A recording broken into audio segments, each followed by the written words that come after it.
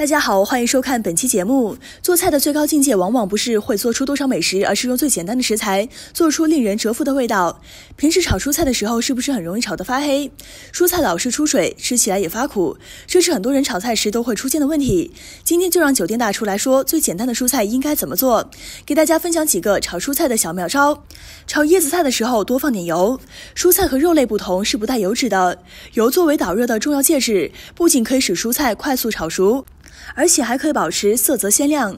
等油烧热后，再把菜放进去，把菜中的水分甩干，避免溅油。接着大火快炒。蔬菜炒得太久，叶子会被炒死，又黑又干，吃起来还很涩。如果不是能够快速炒熟的蔬菜，可以倒入少量的开水，保证鲜嫩。如果需要加醋，需要沿着锅边倒醋，不能把醋直接淋在菜上，会影响口感。蔬菜炒好出锅前再放盐，过早放盐会导致菜出水过多，影响口感。蔬菜炒好后应该平铺在盘子上，使其均匀散热，坨在一起持续加入会影响口感。